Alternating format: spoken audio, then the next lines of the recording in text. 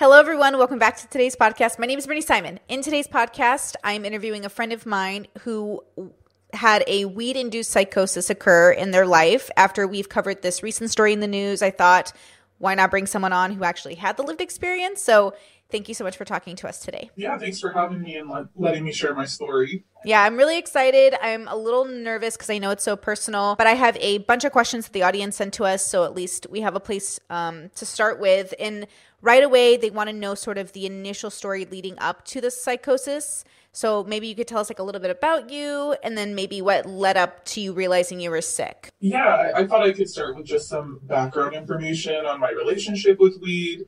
Um, I had smoked weed a couple of times in high school, and um, you know, I thought it was cool, but it was not a big deal to me. It was just like a fun experience.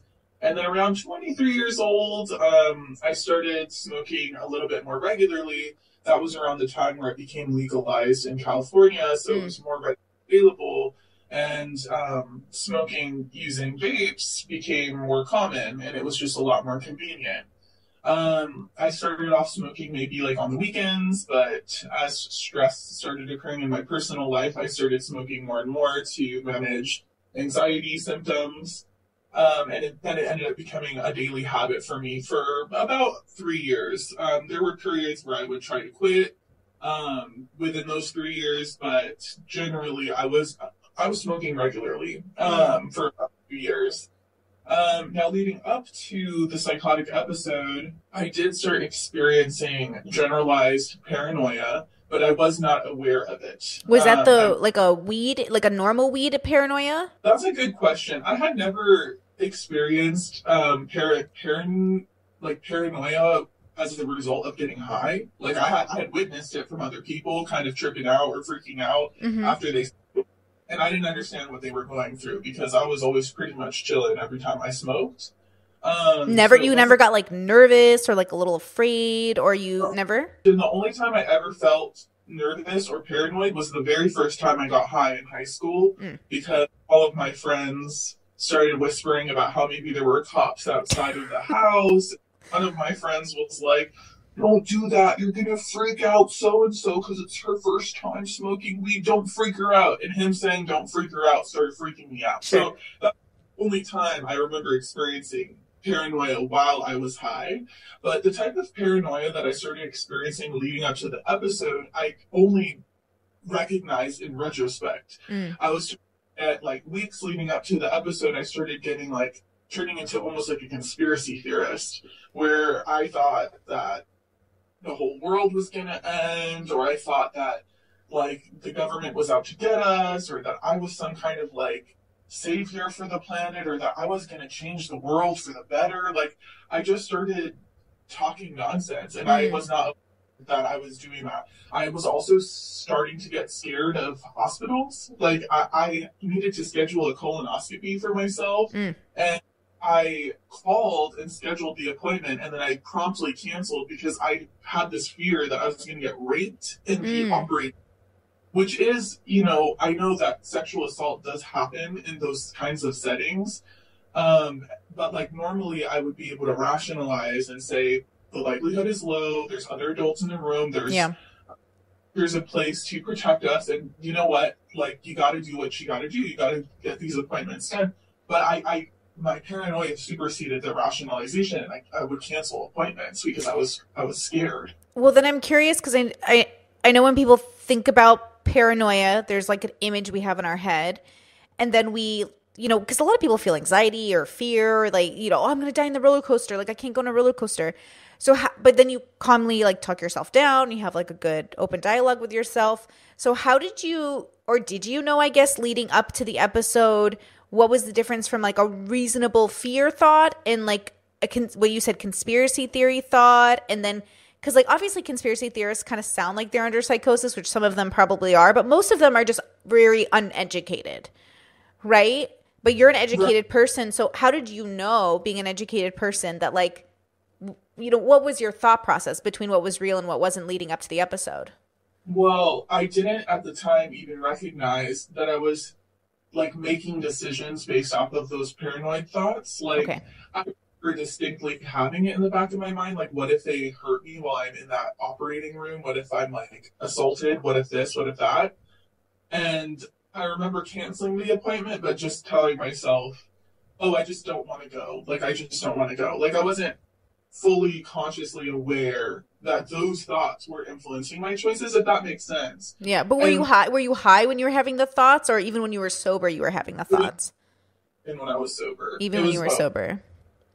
When I was sober, arguably, maybe more so when I was sober. Huh. That I was like, because when I was high, I remember kind of just like chilling out and kind of relaxing, but the paranoia, again, in retrospect, I, I was experiencing outside of being high. Yeah. And this was uh, during COVID, right? This was during the lockdowns? Yeah, this was during quarantine time. So Okay, so was, you were like isolated. I was isolated and I wasn't seeing anyone because I was I was renting a room with a family, but completely unrelated to me and strangers. So I was pretty much just by myself during that period of time. And how much do you think that like contributed maybe to the paranoia? I think a lot. I think just generally having this virus out there that we, none of us understood exactly how harmful it was, and this whole lockdown situation, I think did, of course, contribute to my overall anxiety and fear. Yeah. And remind me, how old were you when it was happening?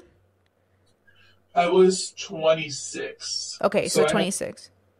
yeah, I started smoking like late 23, early 24 ish around mm-hmm. that time. And then uh, smoking regularly, um, no known paranoia, no known psychosis as a result of smoking, and then just uh, uh, I would say like three weeks to four weeks up to the episode episode I started experiencing an increase uh, like generalized anxiety, generalized paranoia. Another thing that started happening before the episode was my brain was thinking more I, want to say woo woo, mm. more spiritual, where I would see things and take it as signs. And just to give people context, I am not the type of person to read into things. I'm I, I consider myself a pretty rational person.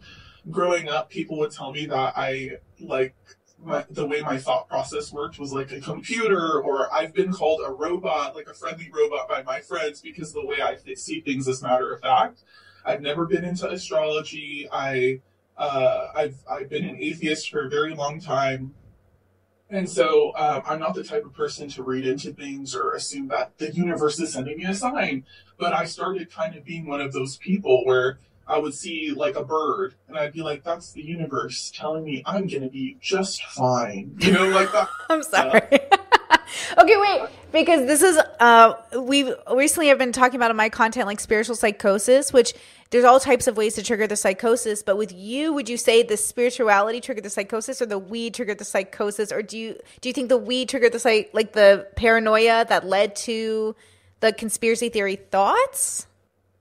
I think i think in my experience weed really like opened up my imagination in a lot of ways and i think it did open up certain things in my brain to allow me to access like what other people would consider spiritual experiences mm.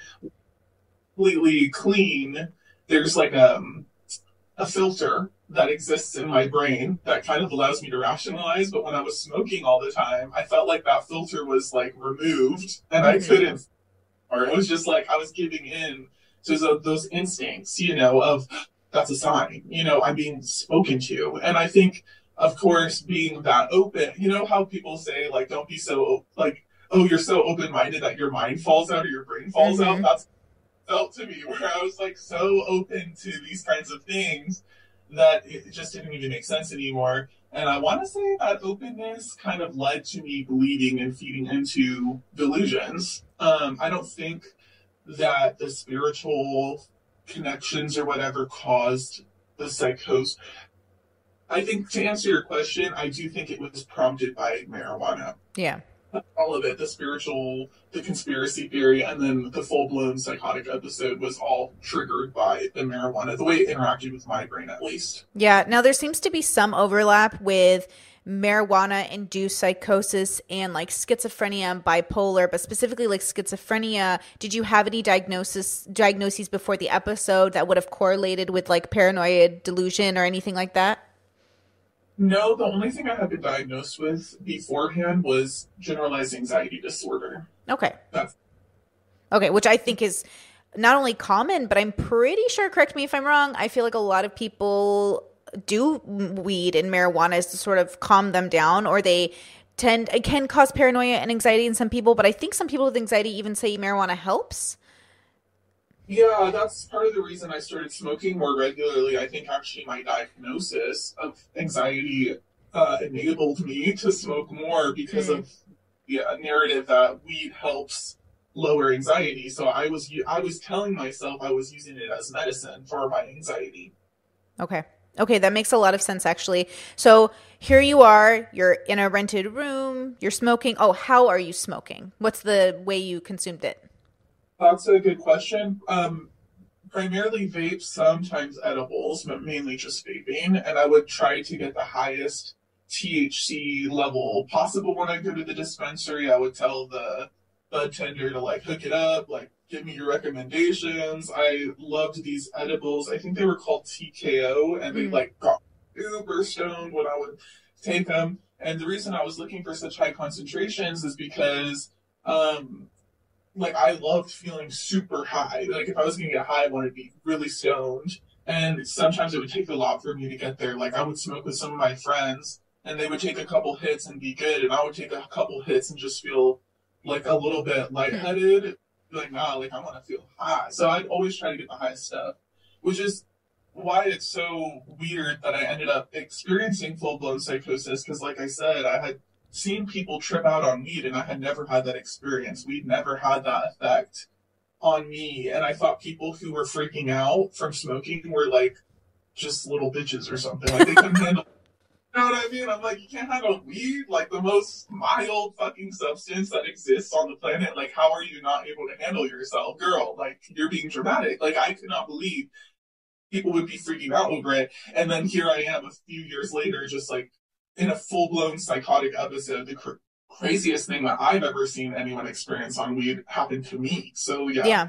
Well, I mean, as your friend and like somebody who was partially there to witness it, it was like the most shocking thing I ever saw happen on weed, like, or because of weed, or however you want to say it. So, okay, so uh, vapes, highest concentration of THC. I think that's interesting. I don't think I processed that. Now, I when I took edibles, you know, I'm living in Europe now, so I'm not on, I'm not doing marijuana, but uh, I was taking like I don't know, like uh, 20 to 40 a night and that would keep me like that was a really good high for me uh, and i smoke a bong but i stopped vapes actually during covid myself because they were hurting my throat so i stopped doing them but i am curious and i've done dabs i've done all those other things but i am curious like could, do you know the milligrams or the the the you don't know how powerful you remember the edibles I really could not tell you. I mm. want to say 40.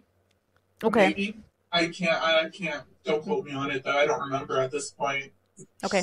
Okay, that makes uh, sense. So, okay, so you're building up to the episode, I guess to call it. Now, it it lasted for a bit, right? So, what are how did you know the the difference between like leading up to the episode and ending? So I know in retrospect when the psychotic symptoms began, Mm. like pre- pretty precisely. Um, so we had the slow build up, right? Several weeks of like slowly becoming a little bit more delusional, a little bit more, you know, conspiracy theorist. And then um, one morning, uh, in a staff meeting, actually, it was my first week at a new job in my field. And it was a Zoom staff meeting because it was lockdown time Sure. like over 50 staff members on that Zoom call, and I started experiencing a manic episode for the first and only time in my life. I'm sure I, I experienced mania during the psychotic episode Sure. period, but as far as like outside of psychosis, that was the only time I ever experienced a manic episode. I started crying. I started interrupting my supervisor and my coworkers. I started just like saying things I would never say. Um, and I didn't even care. Uh, Hmm. And I'm this staff member at this new place, and I'm just acting like I own the place, and like this is totally normal. I got off the call, and this was at like maybe 1 p.m. or so. I got off the call, and I was like, oh my gosh, I can't believe I just cried on my first week of work. Like, that's crazy. And I'm talking to a couple of my friends, and they're like, okay, but like, are you okay? Like, is everything fine? I'm like, oh yeah, everything's fine. What do you mean? It happens. Like, people cry, people express themselves. It's fine. And then um Wait, can I whenever ask? Can I ask like Uh-huh. what kinds of things were you saying? Um, yes, I was basically talking about how I'm like uh like a victim of the system, and this is the reason I hate our field because no one knows what it feels like to be someone like me, and that's not even my narrative. That's Mm. really not even my experience. Yeah, I was just like basically like no one knows what it feels like to be me, and I have all the answers, and like if everyone just follows my system, like the world would be a better place, and so many staff members were being very sweet on the call, but I could obviously a lot of them were probably like, "Ooh, this girl's Yeah. going, like this girl, she's going through some shit." Yeah. So Okay. hopefully that is your question. Mm-hmm, mm-hmm. So you had this build up, and that's like your moment where you realize like, okay, if I had to look at back at the timeline, that is when I lost myself. No, so Mm. okay, so I so that was a manic episode, and then later that night, maybe I don't know, around like 10 p.m., maybe later, I don't know. I was smoking. I was getting as high as humanly possible, and I was not high during the staff meeting, by the way. Yeah. I wanted high. I remember being stressed out in the meeting and wanting to smoke, but I was not high during work. But as soon as I got off work, I basically smoked from 4 p.m. all the way through to at least 10 p.m., maybe later. While I was smoking, it was the weirdest thing. I was just chilling, whatever, hanging out, and then all of a sudden, everything started looking like almost slow motion, like in a movie, and I made eye contact with my computer lens, my camera. I made eye contact, and all of a sudden, my brain was like, "You are being watched." Mm. this is when the psychotic episode, like, like definitively, that's when psychosis in my mind started. I- I mean, some people would argue the symptoms leading up was the start, but as far as full blown, like, I have literally no idea what's going on. It, ha- it happened in that moment. I was immediately, my brain was like, you are being watched by the CIA. And then all of a sudden, my Wi Fi kept turning on and off. And the way it was turning on and off was like, uh, in a pattern, which I don't think was real. Like I think my brain was process- like perceiving it going on, and wasn't actually like I don't know. But um, I kept thinking that it going on and off was the government like fucking with my Wi-Fi, and then um, the the heat started turning on, and I thought I was being poisoned. So I started getting a panic attack, and uh, again, this was like the first time I had an actual panic attack. I had had anxiety attacks in the past, but this was the first panic attack where I thought I was dying. I thought I was being killed. I thought my heart was slowing down. I thought I was about to have a heart attack. So that's when I called my brother, and um, I told him like I think I'm going through a thing, or maybe I called. Did I call you or did I call my brother? I don't I'm remember. not. Sh- I'm. I know we were in contact. I know your family was in contact, but I don't know like what timelines were what. I know I talked to both of you at some point, right? Probably. I had gotten in contact with you somehow. Maybe he told you I was going through it. I don't know. But um, basically, my brother had told me just to calm down, that it was just a panic attack and I'd be fine. And that helped. And I was like, okay, cool, I'm fine. Hang up the phone. I ended up calling 911 at some point, and then the uh, dispatcher on the other side sounded like, is nefarious the right word? Like bad, evil, Yeah, malicious? yeah. Well, ill intended. Ill intentioned. Yeah, she sounded like evil, and so I didn't trust her. So I said, "Never mind. I'm just having a panic attack. I'll be fine." And I hung up, which drives me crazy because I'm like, "Oh my gosh, I could have like, you know, been taken to the hospital right away and be put on maybe antipsychotic meds or Sure. something. Like that would have helped, or maybe it would have made it worse. I have no idea."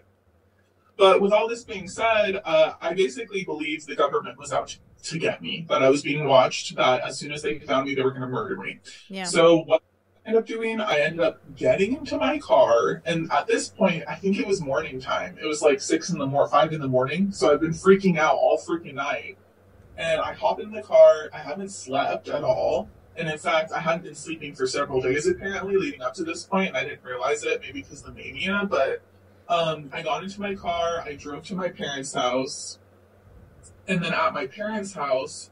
I started, I walked into their house and they were playing like Christian music. Mm-hmm. I was taking a nap and there was like Christian music playing. And I started thinking I was Jesus Christ, like walking into the house. I was like, I'm Jesus Christ incarnate. So I took, is this, there's so much happened. To be Yeah. honest with you, maybe I shouldn't go into all the details because it would take like eight hours of me explaining all these like little side narratives that Yeah. out. But one of them was thinking I was Jesus Christ, and I went Yeah. to my neighbor's. Um, I started stomping around the front yard. Your neighbor's house? Oh, what did I say? Wait, did you go to your neighbor's house, like back at your place, or Oh, my parents. Sorry. was this when. I was driving up eventually when I realized, like, when I was heading to your folks' house? Like, is that that same story? Yeah, I think Okay. this you had like we had, Had communicated Mm-hmm. the night before, and you knew something was really wrong. Yeah, yeah, yeah. Because we had talked, and you you were like talking about your activism stuff, and you sounded like yourself, but not yourself. And I was like, huh, like the oh, way, right. The active. yeah, There like was, so much. there was a lot. So you we had talked and you were talking about like saving the world and I was like this sounds different than how you normally talk about activism. So I was like and you know I've been in social justice circles for so long I've been in activism circles so it's not abnormal for someone to talk about influencing the world in a positive way. But the way you were talking, it's like unless somebody knew you, I don't think they would have necessarily thought it was too weird. But it was like the way you were talking about it, like a little bit too unrealistic that I was like, something feels way off. So I called, I think, I think I called your family. And then I said, like, hey, you might want to go check on her. Something seems weird. But then I think by the time we all met up and headed to your folks' house, like, that was it. Like, I think it was clear something was really off. Yeah, I mean, uh, you knew that something was really wrong. You're right. I think you knew before I was even having the panic attack, if I remember correctly. I, I, I knew and knew. It was like, Not to like come and get me, but it was when I started having the panic attack, and I had called my brother, and then you had called me or Mhm. whatever. That's when, that's when you knew, like, no, no, no, she needs help. Something's Yeah. something's wrong. yeah, And so, yeah, the time I had gotten to my parents' house, you were already on your way, and you had already communicated with them, Yeah. telling them something's wrong with your daughter, like For sure.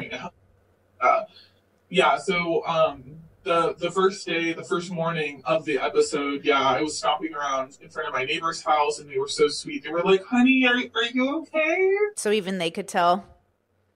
Oh, they knew right away something was not right with me. Mm. And they brought me over to their front yard. They like gave me breakfast, and then I talked to um, one of the adults there, and I said, "Have you ever had a spiritual experience?" And she was like, "Yes," and I was like, "I think I'm having one right now." And she's Damn. like, "He goes." Yeah, I don't think mine was quite like this, but you know. That's so sweet. I might have even told her like I think I'm Jesus Christ Mm. because yeah, I literally thought I was. And again, this is coming from an atheist. For me to be coming out like, oh, Jesus is the one. So yeah, that was the start. Sorry, Okay. so- I think no, no. I think this is a good place to actually move to the questions because it will keep us from. You're right. There's like probably we could talk about this for hours, and I don't want to overwhelm or derail us into too many tangents. So, do you mind if we refer to the questions? yeah, let's go for it. Okay, and then answer them as like comfortable as you want, obviously. Um, because I, I know they're like kind of they're intimate questions, and thank you to the audience who submitted them. I think we both really appreciate that. Um, so, um, oh, how did you perceive anything as it was happening? Like, what did it feel like? Because you were able to drive, which is, by the way, incredibly shocking as your friend. Like, I think the thing that makes me like want to cry is the idea that like you somehow managed to like drive a vehicle and not hurt anyone and end up at home and you were able to like not hurt yourself and you were able to like do so much like i feel like luck like i'm not a spiritual person either so you know i would say like god was on your side or your guardian angel was on your side but i feel like luck was so on your side. Yeah, I'm surprised I didn't hit anyone either, but it, I think it's because I was so paranoid and like hyper, like aware, and I was like, I was interesting like, and I was driving carefully because I thought I was going to be murdered. But you're right, that could have gone either way, right? I yeah mean, did you have a did you feel like you had a choice in grabbing the keys Um, no, I mean everything I was doing was on impulse and instinct. It was like survive. Like I felt like I was working off of survival instincts. Like Curious. Wait, do you think you getting to your parents' house was actually part of that survival because you knew they would take care of you? Um, yeah, at that point, like I didn't trust anyone but my family. Like Smart. I, I be home with my family because I couldn't trust the ho- I couldn't trust the nine one one dispatcher. I couldn't trust the police. I couldn't trust the family I was living with. I thought Sure. they were in on. Um, but unfortunately, as the psychosis worsened, I started to feel the same way about my family too. Yeah. So it, that the safe that sensation or feeling of safety with my family only lasted so long. Okay, sorry to interrupt. So, how, what did it feel like to be in it? Um, like it depends on the day, to be honest. But I think generally it felt kind of like a dream. Like, like when I was driving, for example, um, you know, things on the side of the road kind of whooshed by. You know, things were definitely distorted slightly. I would say it was kind of similar to being being on an acid trip. Mm. And so, yeah, it, it felt like a dream. It felt like I wasn't really in control of what I was doing. That I was just kind of like, like being, like I was a puppet being moved by my brain or something. Like I don't know how to explain it, but um, yeah, time was definitely distorted. Like some memories of mine are sped up because that's how I experienced it. It like happened like zoom, like people would move from Interesting. one the other, like like they were being sped up. Hmm. Um, sounds were distorted too, like the, like a, a garbage truck down the street sounded like it was in my living room. Like I could hear like everything the garbage truck was doing, like it was right next to me, or an ambulance would be going off miles away, and I felt like that ambulance was in my head. Um, so sound was distorted. Is that like um? Is there like an audible psychosis thing? Is that like a just a symptom of psychosis? I know that your sensations kind of get thrown off and that your brain will, uh, as far as I understand, your brain, like, will perceive certain sounds as farther or closer, depending on whether they actually are farther or closer, but it can distort that. Like, Hmm. it can, like, that's thrown out of whack. It can make it feel like things are much closer than they are because whatever system, uh, cr- that I don't know. I guess whatever system manages that gets all Mhm. thrown back. So, Okay. uh, another thing that was distorted was um, people's faces. This was probably like the worst part of it was that um, people in uniform, so like police officers, EMTs, nurses, doctors, anyone in uniform, who were they were also wearing masks, by the way, because Yeah. this was COVID. So all of those people looked kind of like humanoid gorillas with like these huge bulging eyes and these small eyebrows and these hunched shoulders. They all looked terrifying Mm. and they all very like there's a word I'm looking for, malicious. That's not the word. Maybe someone knows what Like I'm trying to say. insidious, I think was the word. I think that's a good word. Malignant is malignant. No, malignant means like something that's there that's not supposed to be. I don't, I don't know. Yeah. But yeah, insidious. They all looked very bad and intentioned, and like I couldn't trust them. Like they were against me. So that was also a distortion I saw. And sometimes the family and you would also look kind of like apes. I was gonna ask, what about me? Did I look distorted at all? Yeah, like we we looked like um we look like Neanderthals or something to me. Mm. Like we just didn't look like people. We just looked like a bunch of monkeys. It was very weird. Yeah, yeah. I mean, aren't we all just monkeys? Um, at the end of the day. Um, okay, so then I'm curious, um, because I know at one point I didn't stay the whole time during your psychosis. I eventually had to leave because I wasn't actually a very good friend during the process. I wasn't the calming energy you needed. And so I'm so grateful that your family ended up being, or at least your parents ended up being like this really calming energy for you. Um, but I remember specifically a time when we did call, you had asked us to like call the cops. And because you wanted the right to leave. And so we called this group of cops over and they were very like lovely about it. But I remember you being so rebellious towards them. Do you remember? Yeah, I, I remember acting like a like the cop or the EMT. I don't remember which, but he said, oh, she's acting like a teenager or something like that." He called me a teenager, and I was I was like rolling my eyes and like you know whatever. Um, yeah, I would go like back and forth between like I need nine one one, I need to get out of here, and then as soon as the uh, EMTs arrived, I would switch to they're evil and you can't trust Yeah. them. So as soon as they arrived, I was like, I know what you're up to. I know that you're not here to help me, so I'm Yeah. gonna completely. And I would do the same thing at the hospital. I would, I, I mean, you remember I would scream for 911. There was one time my neighbors called 911 because I literally ran out of the house screaming 911 at the top of my lungs. So, um, you know, I'd get picked up or I'd be questioned and I would just shut down. I wouldn't talk to them. Yeah. At the too, you guys would take me to the hospital to try to get me help, and then the nurse would ask me questions, and I would refuse to speak to them. So Yeah.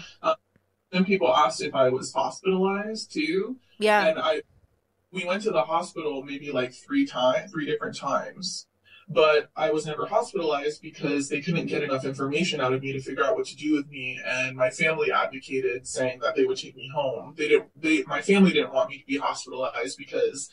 You know, they didn't know what kind of hospital I would be put into. I was there with your mom at one point where, um, and I've done this for a few of my friends in terms of like advocating for their mental health. But your case like blew like popped a bubble for me, if you will, because I'd never dealt with a friend of mine who had like psychosis. I've dealt with so many variations of mental health struggles and talked to parents and talked to cops. And I'd had an experience that I thought was going to prepare me for this one, but it was very different. So I I specifically remember a moment where we were at the hospital and the woman asked you like, "Have you had any weed lately?" and you're like, "No." And I was like, "She has absolutely had weed." I was like, "You can talk to her. You can tell her weed's legal in the in, in this state in California. You can say it." Wait, say that again. Your audio cut out. I remember just like no, shaking my head like no, I'm not, Yeah. not telling Or like I kept looking at you to like tell me what to do because I did not know what was Yeah. going on. Well, I felt bad because your parents are like older and like all of our- our generation that has like older parents. I don't know how prepared they are to handle this. And I'm always like really impressed when they can handle it really well from like drugs to like their kids doing crazy millennial things. So there was this moment where like the doctor came in and told us like if you tell your friend's symptoms to the nurse who's going to interview you, she'll be taken away and locked up and it's covid. So she'll be sent to the nearest facility which is by the way all full. So it'll be the worst facility in, town and you won't be able to see her because it's covid. And we were like no. Because like the doctor was very yeah the doctors were really confident it was weed related psychosis. So they were they recommended that we advocated for you and put you in a quiet safe space at home because they were going to basically lock you up in a padded room and it was probably going to make it worse. So we decided not to speak to the lady and we did take you home uh, at the recommendation of the doctors. And your parents, you know, like I said, I wasn't the greatest friend at that time, which is eventually why I left it in their hands because um, I was so emotionally, I think, triggered myself as your friend because it was so weird to see you go in and out of like who you were. Like, I remember one time it was like really late at night and we were trying to have dinner and you were at the table doing things with your body and just like making faces and mm-hmm. all of a sudden you stopped and you like looked at us and you're like hey like what's going on? And i was like and it was like you. It was like the real you. And i was like oh my god. and i just remember like bursting into tears.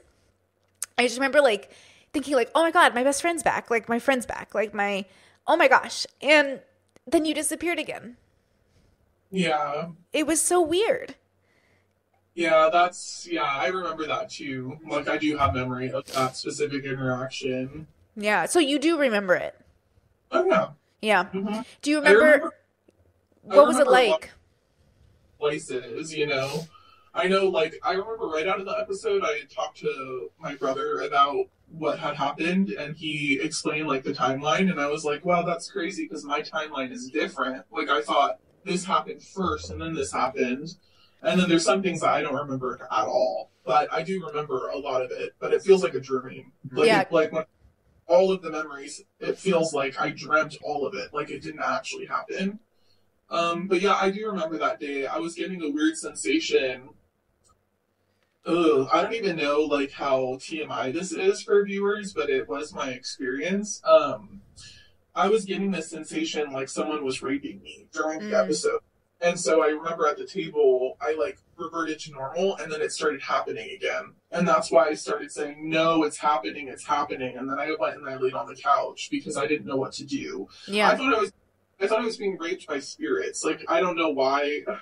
I don't know why there was like this fear, like huge fear of sexual assault. I, I have had an experience in my personal life that's happened to me, but it was not rape. It was like nowhere near that. Mm. So I don't know exactly why my brain was like had this huge fear or connection with um, sexual assault. But yeah, I thought that these spirits were after me and they were assaulting me. Um, Yeah. And that happened um, when I had snapped back out of so like sober mind, I guess. Do you think it's in any way like uh this sounds so weird but like gendered? Do you think like women just are constantly afraid of like assault? Like I was afraid to put you in a facility for that reason. Um. y- Well, yeah. I- You know, like you know when you have a dream and it feels very random, but sometimes you can tell why you dream certain things. Like, Sure. like, like maybe in a dream you end up having sex with a platonic friend, and you're like, oh, like it's because I'm crushing on this one person, but I hung out with my friend this day. Yeah. And my like mixing it all together, so like you kind of know where it's coming from. I feel similarly about my psychotic episode where I'm like, okay, I could tell like where that thought came from, but then the psychosis blew it way out of proportion. So, for example, do women get sexually assaulted in hospitals? Do unconscious women get sexually? Yes, and that's a real fear of mine. Like genuinely, like if I'm left in a hospital bed for four months in a coma, like who- are the pervs that are working at that hospital? Mhm. I know, you know. Same. Like no, I think I think a lot of people, especially with the recent data statistics coming out about it, like there's that saying like women um aren't safe in life or death. Oof, oof. Yeah. That's rough. But That's it's rough. true. It's true. So okay, And, um mhm. especially um, m- mentally ill women too Yeah. at a lot of these facilities who can't advocate for themselves, and Right. especially people experiencing psychotic symptoms. I imagine are like one of the uh, most vulnerable victims to these things because who's going to believe a girl? I was literally saying I was being raped by spirits. Like who's going to believe actually sexually assaulted? I probably wouldn't even believe myself. Like I'd Yeah. probably be like, maybe I did just just hallucinate that. I don't know. You know, Yeah. like how what a scary position to be in as a woman for sure. So that that moment when we were at the table together and like you came and you were kind of yourself again and then you slipped right back in, did you feel distinctly different at all? Yeah, I did. It did feel like I was. I woke up for a second, Mm, it, it, but I still wasn't fully there though. yeah. Like, but you know, it did feel similarly to the day I came out of the episode, where initially I, it felt like I was waking up from a dream, but I still didn't know what was going on, and then slowly, as people started explaining stuff and I started putting things together, I had to accept that the last three to four weeks was real and not a dream. Um, but I wasn't ready in that moment with everyone staring at me. I think uh, to accept that like what I was going through was real, and it just I got pulled back in. Yeah. Yeah. Okay, do you mind if I continue on with the questions? Go for it. Okay. Um uh so uh, one of the questions we had um well, I guess this kind of well, let's go with this one. Um relating to marijuana use now, do you smoke today?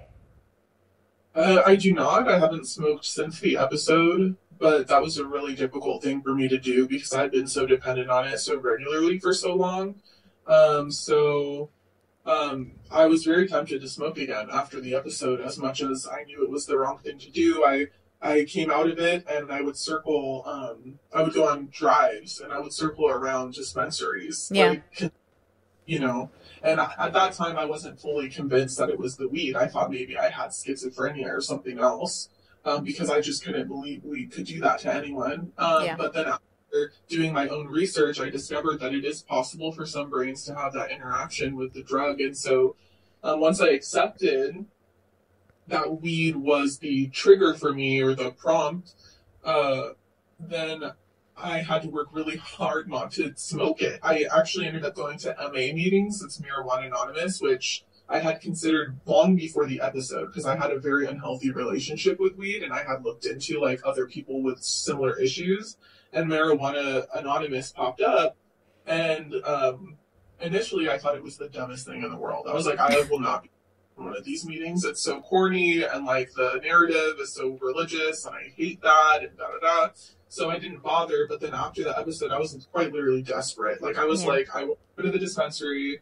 So I created a system for myself that if I wanted to go to the dispensary, I had to go to at least one A or one MA meeting first. And if I still wanted to go to the dispensary, I could. Mm. But then I had those MA meetings and I heard people talk about their struggles and what their lives are looking like because they cannot stop smoking or what their financial situation is looking like. And as I met other people who had experienced the same thing I did, it really did encourage me not to go back to it. So Yeah. I've been off of marijuana for over four years. Wait. Wow, was it that long ago? No, it's all, it's gonna be four years in August. Wow, that's kind of amazing. It's been so long. Does it feel like it's been that long?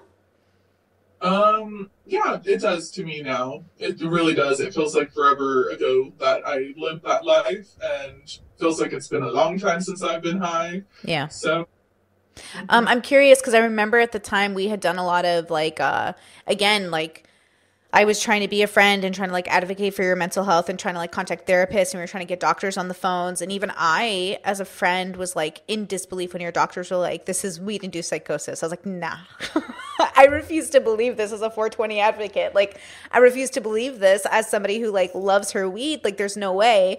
And so even I was like very frustrated with that diagnosis. Like I was very frustrated with that conclusion.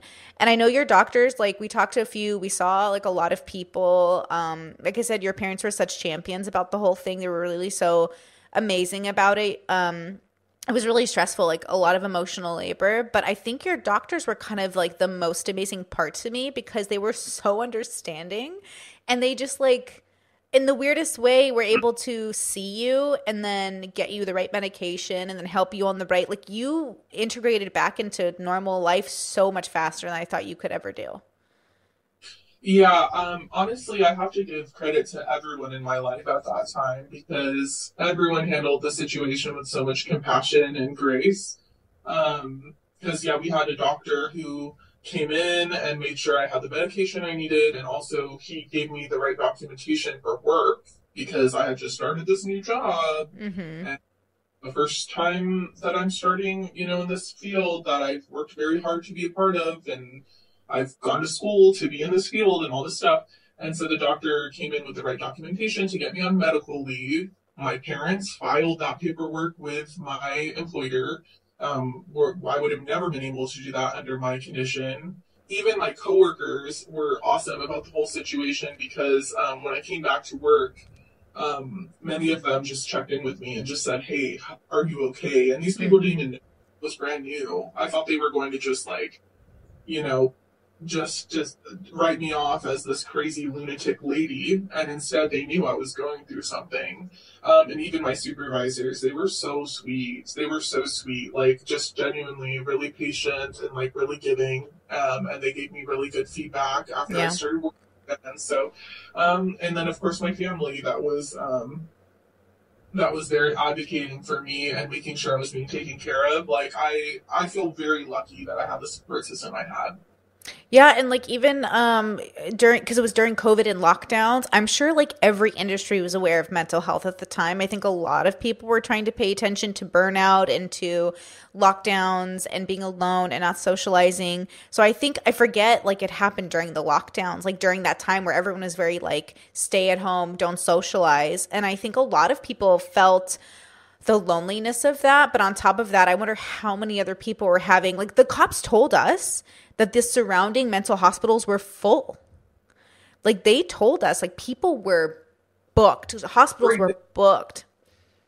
Yeah, and actually, um, I'm just putting together that um, the paranoid symptoms. I said, you know, it was like a three, three few weeks um, leading up to the episode. That's when I had started like hardcore isolation because even this, even though this was well into quarantine, I wasn't taking it as seriously as some people would have recommended at the time. Like, Sure. Still, you know, going to um, meet people online, and I, what else was I doing? Um, oh, I was going to my friend's house, you know, like stuff like that. Because I lived alone though. I'm like, what if you expect people who live by themselves just not to see anyone else? Like that's insane. But Mm. as I did start doing that though. I was like, I what, remember. I, am a bad person. Like Mhm. I've, I've not been like taking this seriously enough. I need to lock myself in, and I started like ordering food in for every single meal. I stopped going to the grocery store. I stopped driving. Yeah. Like, I just house altogether. So and Yeah. that, I think exacerbate the symptoms. Well, I do remember talking to you because we didn't live in the same area anymore at the time. And like all my friends dispersed around this time into different places. And so it wasn't uncommon for me to be away from friends and family. But I think not all my friends were used to it. Like I had friends even in the East or Midwest who were really like suffering from loneliness during the pandemic and for me at least i was living with my you know my siblings so that was really nice um, but you were living like alone. And so i remember talking to you and i remember saying like go home to your family bro. Go see your friend. Like, go see somebody. And i remember you saying something like no i'm gonna be a bad person. I can't see people. It's quarantine. And i just remember thinking like just go see somebody bro. Like go see anybody like anybody. Just like go see your family. And i i know that it was tough because i know there was a social pressure you know, and I know that. And so I know that I'm going to assume that played into the paranoia. I'm going to assume that played into something. Absolutely. I mean, um, I want to say this, especially for people who are like probably screaming, it's not the weed, don't blame the weed. That's not incorrect because there were a lot of factors that led up to the episode, and I think isolation was one of those factors. Stress um, of starting a new job, also stress in my personal life because I had ended a, a long term relationship mm. and moved into this place that I hadn't been living it for. I totally for, forgot that. Oh yeah, I was. I mean, it was. I totally forgot. Eight, my whole life. Eight years. This almost eight years. Yes. Yeah. Wow. Like, and my entire life changed as a result of that breakup and it's like covid so not only did i just lose my best friend in my life now i'm by myself um, and then on top of it, I wasn't sleeping and I wasn't eating. And I didn't yeah. realize I had thought of like taking care of myself altogether. Um, so of course there were all these factors. Uh, plus I was smoking ex- like very heavily. So all of those factors, I think, ultimately resulted in the psychotic episode. Definitely. Yeah, it kind of reminds me of like um it's like a it felt like a perfect storm in some ways. You know what I mean? Like nobody smokes thinking um they're going to hit a psychotic episode or hit psychosis but i think it's like a like almost like a perfect storm which is why it's generally safe right? Generally speaking people won't have this happen. Yeah. But i will say this for people who are like it's not the weed i could have had all of those other factors and i would not have experienced psychosis if i was not smoking the way i was smoking. I agree. That just down to ultimately that's why it is diagnosed as cannabis induced because if that factor was removed, I would have been fine. I could have had another factor removed, like maybe I um, was stressed, but I was getting enough sleep, but I was stressed and smoking weed. I could have easily still fallen into a psychotic episode as a result. So, um, and that's not to say everyone would have that reaction. Most people will not, but my brain chemistry, my brain interacted with the drug a certain way and it resulted in that happening. So, yeah. Did the did the doctors ended up find did they find something that sort of like oh her brain type there's something other people can look for? Like not that I'm aware of no. I think they're still trying to figure out what it is exactly um, but yeah I'm, I'm not that I'm aware of. In case people are wondering about like diagnoses after the fact um, it took four medical professionals for me to finally acknowledge that it was cannabis induced, and it was always like the way they said it to me was so like it was clear cut. It says can- cannabis induced psychosis. Um, and then I worked with a therapist for over a year, and she put me through a lot of different tests to see if I had bipolar or schizophrenia or any of that stuff, and I I didn't end up getting diagnosed with any of that. Um, but I was diagnosed with cannabis induced psychosis, and then after the episode. I continue to be diagnosed with generalized anxiety, but also additionally a major depressive disorder. Um, after. After I had not been, I, I, had been tested for depression before the episode, but I was not um, clinically depressed. And then post episode, I had depression. Like that makes sense. Yeah, I had I had never experienced suicidal thoughts in my entire life, and then in the episode, I wanted to die. Mm. Um, I remember. And, then after the episode, those thoughts persisted, unfortunately. Yeah. If you're open to it, I do want to talk about those uh, unaliving desires that you had. Um, because I know as a friend watching you, I knew you and I knew you weren't a person who had these, as a person who does, I knew you weren't a person who ever wanted to unalive herself. Like that wasn't your narrative, you know? And so that was really weird but i think that's why i knew also like this was so unique of an experience because i would watch you like i know your family and while i was staying with them i would be on like we would be on like um what's this called? Like we'd be on watch. We'd have to sleep next to you or try to be next to you because you wouldn't sleep and then you'd run off and do things in the middle of the night. Like you'd run off you know you just out, you know just in the middle of the night you just run around. And like you ran around kind of like a goblin honestly. Like you would be like Yeah. Oh, I looked crazy. Yeah. you definitely didn't look sober Yeah. No, But you- even like, not sober. I mean, like, yeah. I just Yeah. It looked and was up. something sure. was up. So in particular, I would witness you like try to throw yourself on the ground. Like I never heard a head hit the the ground before, but man, the sound of your skull hitting the ground. I did watch your video um, on this beforehand, like when it came out, and you said that in that video, and I don't remember actually hitting the ground that hard. Did I? I mean, I don't think you got to hit it that hard for your skull to make that noise. That's that's fair, actually. That's fair. Yeah. So basically, there were so many different narratives and delusions going on, and they would toggle back and forth over the uh, over. It was over three weeks, by the way. If I didn't, I know I said that already, but it was over three weeks. I was sucked into this psychotic episode, and yeah, I would just switch between maybe like ten to fifteen different realities, and I was like playing according to those rule book that that rule book for that reality, depending on where I, which one I was on Mm-hmm. was one where I was in a video game, and to escape this terror, I had to just um, I had to game over, you know. So, and one way to game over was to to unalive myself um, by throwing myself backwards and you know smacking my skull against the concrete or the tile. And then another way was just like laying on the driveway and hoping that my dad would run me over with his truck, which is so awful, but that was like what I was hoping was going to happen. Like I'd lay right there hoping that he'd come home and not know I was there. Yeah. Um, but the attention was not in those instances. It wasn't to actually unalive myself. I was just trying to reset the game in my mind. I was just trying to reset the game. Um, but I think I have, uh, you had mentioned it before that I was not fully committing even to like throwing myself back. There was all, there's still some hesitance with it.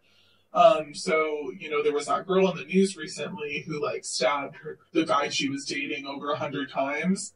Um, her psychosis was so strong and convincing, unfortunately, that she like full sends Yeah. the delusions. and then I, I She, can you not- repeat that sentence? The audio cut out. I said she, I, I should not be laughing. This is not a laughing matter. Oh my god! But she, I said she full sent the emo, the delusions. Like Oh. she sent.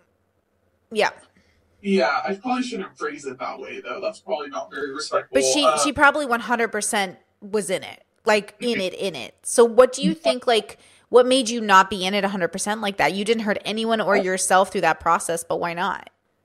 I, I don't know. Um, I was not like I, I was so um indecisive about everything. Like I couldn't figure out what was real what was not.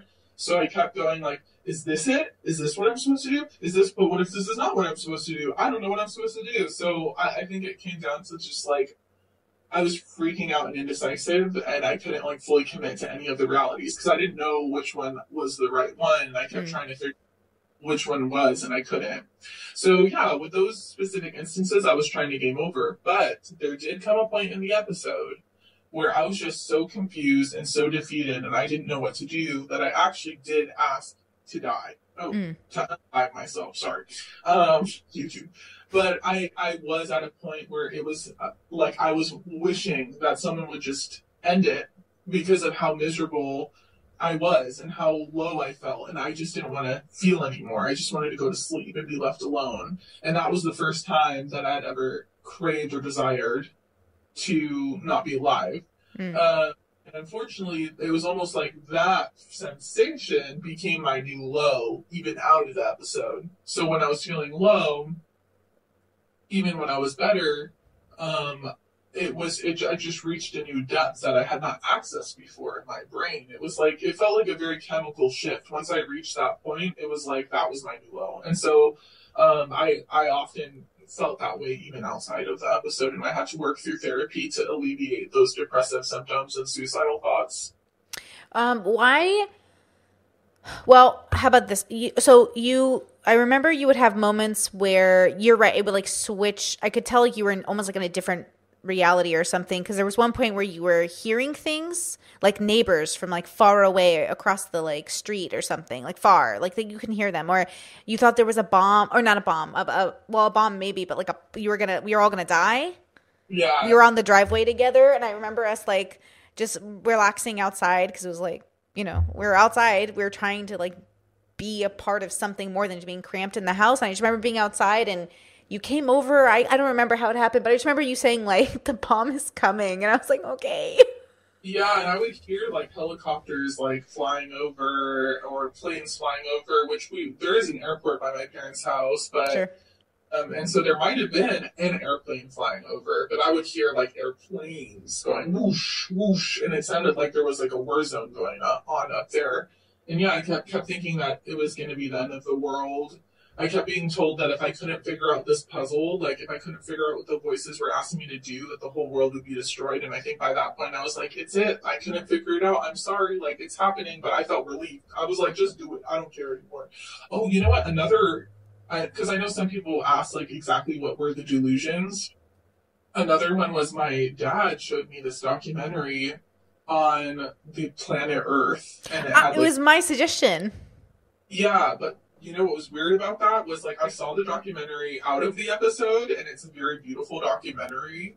But when I was watching it, as the satellite was going over the Earth, the entire Earth was on fire and burnt out Oh. and destroyed. Like literally, like I remember that vividly. That what I was seeing, it looked like WALL-E. You know, like the whole world was yeah like it's just over there's no life there's no civilization and all you see is the satellite floating around you know my dad was like so sweet about it he was like see sweetie there's the there's the ocean and there's the grass like he, i remember him like oh there's the, the rings around saturn is it saturn that has Sure. the rings Saturn's Uh, rings. sure. Um, and so he's like, see the rings around Saturn, and meanwhile, I'm just seeing a, a planet that's totally destroyed. And the Yeah. voices in my head were telling me, um, it- this this is what's gonna happen to your whole universe, and it's Damn. your fault. That's like that's happening. And my dad was like, looked so innocent to me, and I was just looking at him like, you have no idea what's coming, father. You have no idea. And he's just, you know, That must have been a maybe that was a different one because I remember I, I told your parents put on um like a Animal Planet like not Animal Planet but like a, a, a- a- an animal documentary because we were trying to Oh. give you like peaceful things to watch but then it ended up being like this anxiety induced with like this mama bear cub and will her bear survive and I was like oh this is more anxiety inducing and I'm not even the one in psychosis like oh my gosh Yeah. Yeah, I remember that one made me feel like I was in a like a hospital bed and like I was in like trapped and I couldn't escape and I was just stuck on the like I couldn't like Yeah. I felt like a person with Alzheimer's just being told to watch this thing. It was weird. It was very I'm sorry. but- damn tried, you tried. Uh, another delusion was that I thought celebrities on the TV were talking to me. So, like, my brother put Billie Eilish on because at the time I was really enjoying a lot of her music, and Sure. I thought Billie Eilish was telling me like.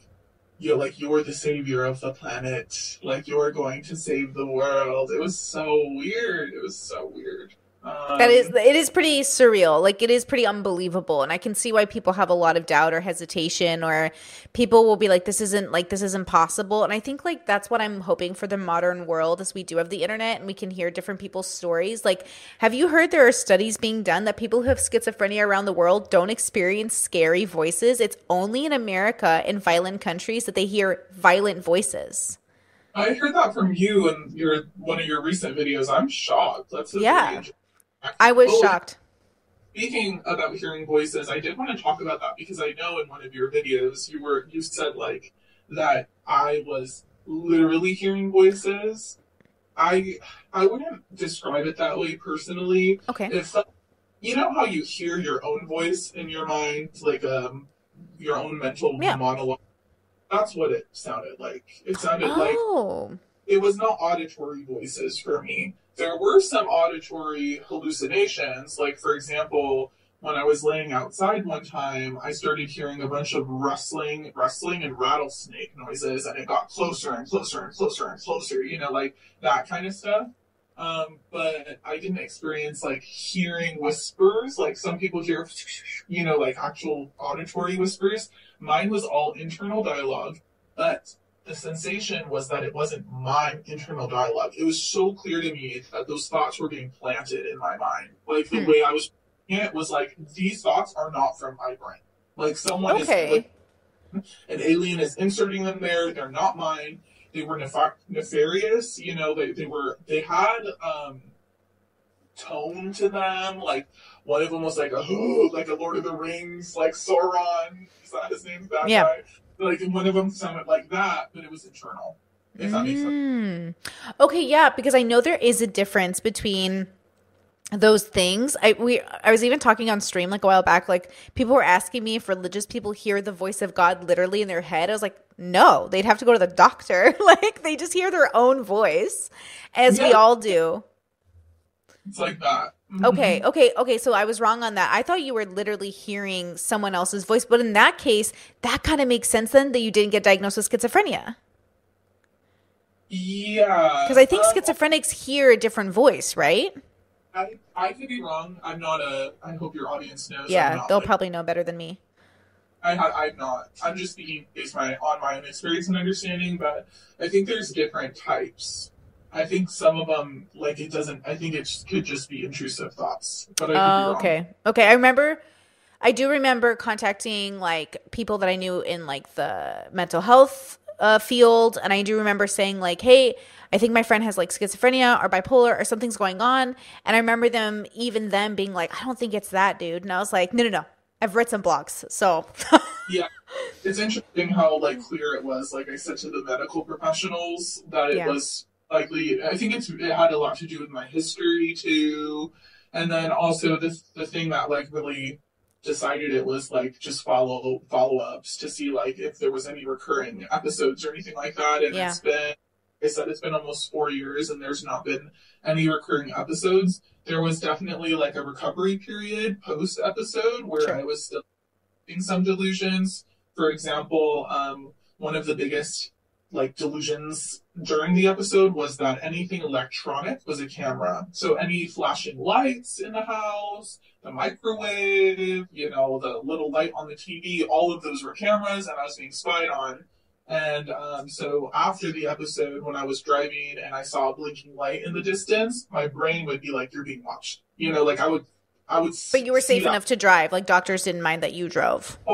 Totally, because it was just like I was just aware of the thought, like Okay. it was like like a intrusive thought for like a second, and then I would be like, "Nope, that's just you, you're just re- in recovery." Yeah. and, like those thoughts will go away eventually. Okay. it's not. Okay.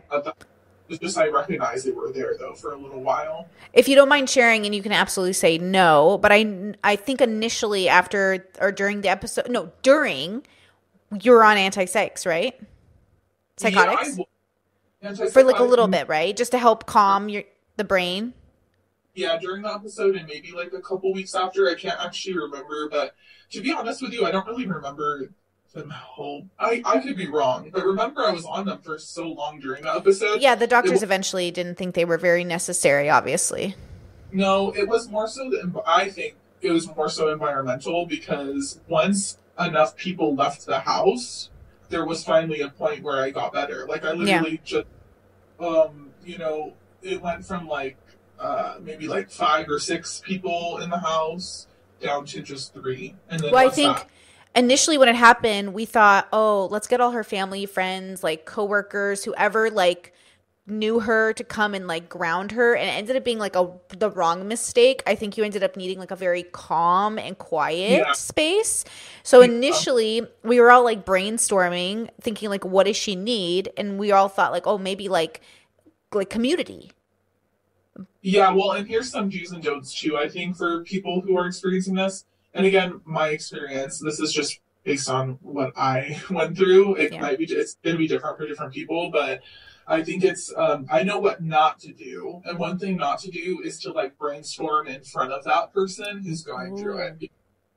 It's going to come off like you're conspiring against them, or they're going to feel guilt because they're going to feel like something's wrong with them or that you're a burden. It just creates like more feelings of like paranoia, like what's going on, Are they're talking about me, what's happening.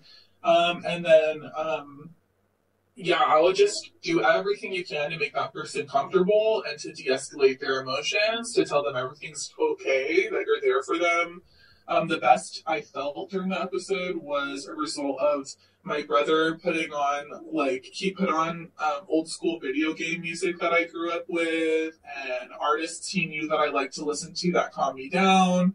And that made me feel like a child. Like, I literally would also, um, uh, some of my delusions were like that I was a baby or that I was a teenager and I would act that way or that I was an old lady with Alzheimer's. Like I would act like at these different ages, yeah, these different personalities, I guess. Um, and so when my brother put on my uh, childhood music, it made me feel like I was 12 and I started like moving around like I was 12, but it, it was better than me running out of the house screaming 911, right? Yeah. Like that was a good sensation for me at the time. Or my dad made me soup and he literally fed it to me and that was good too. Cute. But you, they had to read the room and read me because I swear if my mom had done the same thing my dad did, it wouldn't have calmed me down the same way. So it's tricky. Mm, You know, it's tricky. I, Yeah. I, I wouldn't to feel bad or guilty if they don't know how to de-escalate someone who is experiencing psychosis because it's extremely tricky and it's I, I don't know if I would even be successful like helping someone help you de-escalate the situation if someone else was experiencing psychosis it really depends on your relationship with that person so Well, I tell my do- husband, I was like, my friend's gone through it, so if you go through it, I got you. And then I was like, I think. Yeah, because everyone's going to be different, and I think your background history with that person plays into how sensitive they are to your Yeah. manner towards them and everything too. And so I would just say, do your best, de-escalate, remind them everything's going to be okay. Don't talk too much technical stuff. Like, don't talk about their job. Don't talk about um like hospital bills. Obviously, like nothing. Just like focus on them getting rest, getting better, and letting them know everything's going to be okay, that you're there for them. So, another thing that's helpful too is to give that person space to be alone. One of the most helpful things for me was being under a blanket. Mm. I don't know, it like, you know how I talked about at the dinner table, I kind of woke up for a second. When I would put a blanket over me, I would wake up. And I would be like, okay, what is going on? Like, what can I do to rectify this? Like, what is happening? What is real? What is not? So I wasn't fully there, but I was like the most there that I was compared to like outside of the blanket. Um, and also that person needs to sleep, so you have to like give them space to sleep. Can you talk about sleep? What's that? Because you didn't sleep a lot. I wouldn't sleep because I was paranoid, and I thought if I slept, I was gonna die. Um. Also, yes, we'll talk about sleep in just a second. But the last thing I want to mention is try not to stare at that person while they're trying to rest. Like, like just indirect, like do pretend you're busy with something. Like Mhm. pretend you're reading a book or you're watching something um, on your phone. As long as that's not triggering them, you have to kind of like read the room. But I remember I couldn't sleep because like my mom would sit on the couch like at night and she'd stare at me and it was like the creepiest visual effect. It looked like a shadow was over me. Um, and so those are my recommendations in general. Um, and then as far as sleeping goes, one of the reasons I couldn't sleep was because I kept thinking if I fell asleep, my heart would stop beating. Um, I kept having this like hallucination of my heartbeat slowing down, like I could hear my heartbeat, and Mhm. it felt more to like a panic attack where I felt like I was about to die. And one thing that helped a lot was my dad would hook me up to a heart rate monitor to show me what my heart rate was because I could not like my brain was telling me either my heart was beating really really fast or was barely beating at all, and my dad would show me I had like a normal pulse, and that helped. That was the only thing that helped. Um, Yeah. I- might not help for everyone because if the psychosis is powerful enough, then you won't believe maybe the equipment over your delusions. But for whatever reason, it was enough for me to like recognize, like, okay, well, I think the reason I was able to recognize it was because at that point, you guys were telling me that I was like, it was like a bad trip almost. That helped too. Being told, hey, look, it's just like you're going through a really bad acid trip or like a really bad shroom trip. That's all this is. It's temporary. It's temporary. That Yeah. helps. I am curious. Um, the irony is like you're so one part of your brain wanted to unalive, and the other part of your brain didn't want to unalive. Yeah. So you were almost like giving yourself like insomnia to an extent because you couldn't sleep but then at the same time like do you think if once you like what was a part of the recovery like what helped during the recovery? Was it finally getting some sleep? Because we know how important sleep is for the brain now. Like i try really hard to get my sleep in even though i suck at it but i know it's so important. So like did that help technically move towards getting out of the psychosis eventually? I think so. I remember the day before i came out of it i had a really good night's sleep. Nice. i woke up and i woke up to no one watching me. I just like woke up and had time to like be by myself and like kind of leave the room alone.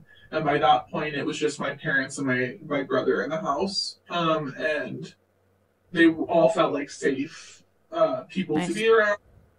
And so I, I like just walked out slowly, and I was like, like what's been happening like the last like or how long have I been like out of it? And they were like, oh, it's been like a little over three weeks. I was like, did everything actually happen or was it a dream? And they were like, oh, it was real.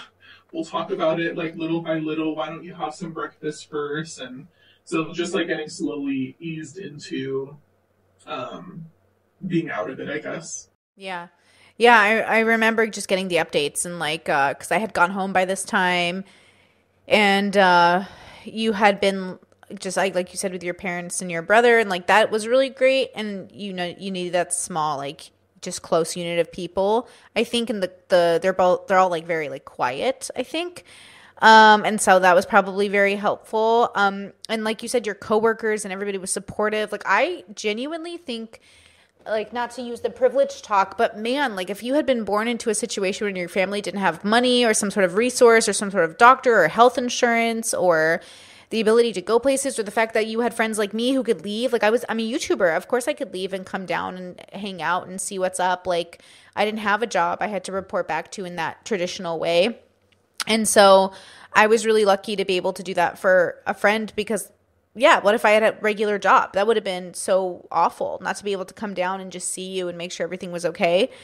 Um, and so like community is so a part of this. Like I do look at the homeless homeless popul- population and wonder like how many of those people?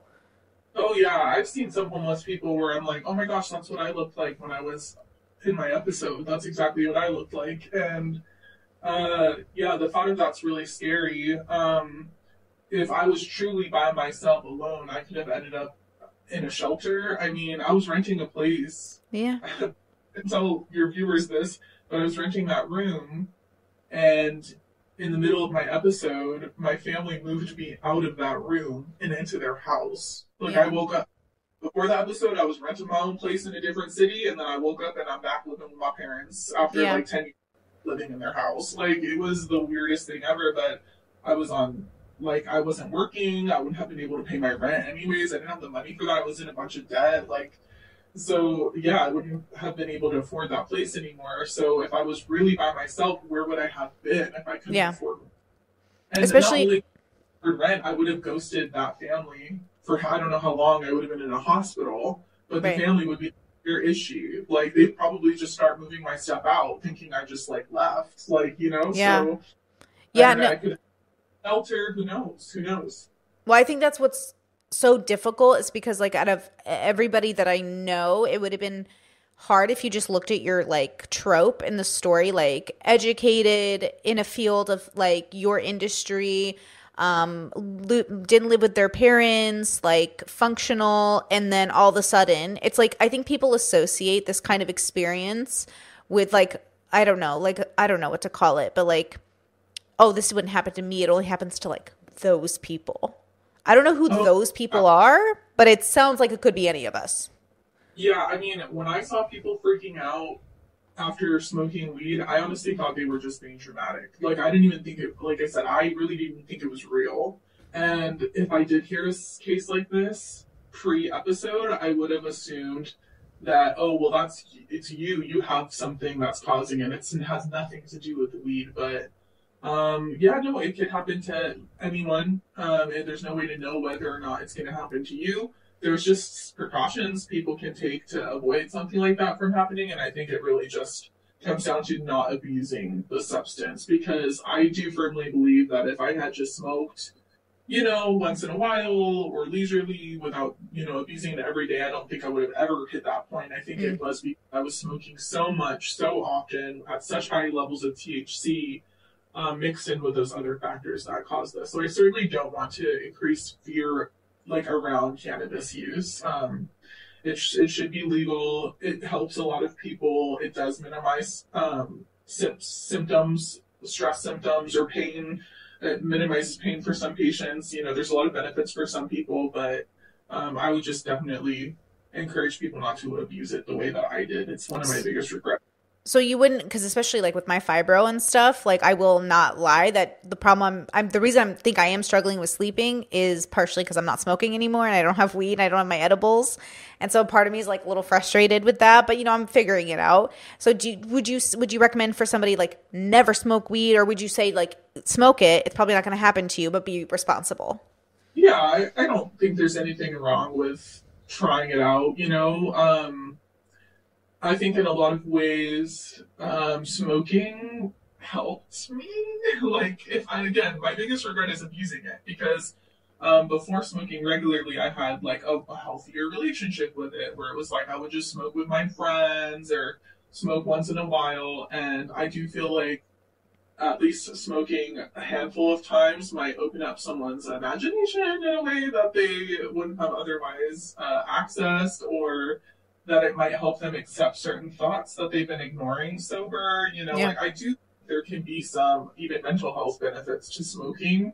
Um, but the only problem is, is that when you start making it a habit, like I don't believe it should be a daily thing. Um, I know that some people can use it to help them sleep, but there's ways to use cannabis without being high on it to help True. you sleep or in, um, get it without the THC and like so, the CBD, maybe because like a lot of people think the high concentrated THC without the balance of the CBD is why these episodes are happening in people because there's not the balance of that CBD involved. Which in Croatia, where I'm at, there's CBD shops everywhere. Yeah, yeah, that's awesome. Um, again, if it's truly for sleep and you're just trying to relax your physical body, I mean, maybe it's also people need that mental, you know, relaxation. But I'm sure there's a way to do it so that you're not like totally out of it. Mm-hmm. I mean, the way I smoked, I would have like a high hangover the next day. You know, like oh yeah. I would feel like shit the next morning, and then mm-hmm. I want to smoke, does not feel as like as shitty. So I definitely had a problem, um, and I knew I had a problem. But a lot of my friends were like, I, I even asked some of my friends like.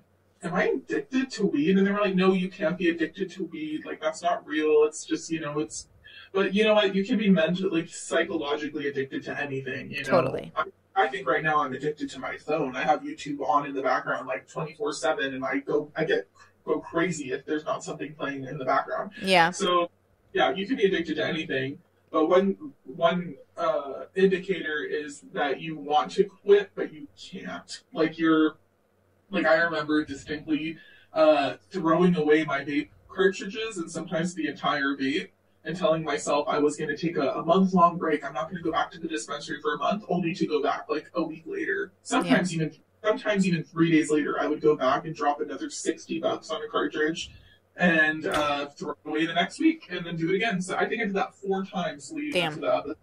Yeah, I just, forgot how expensive vapes were, bro. Mm-hmm. They're probably more expensive now. Damn.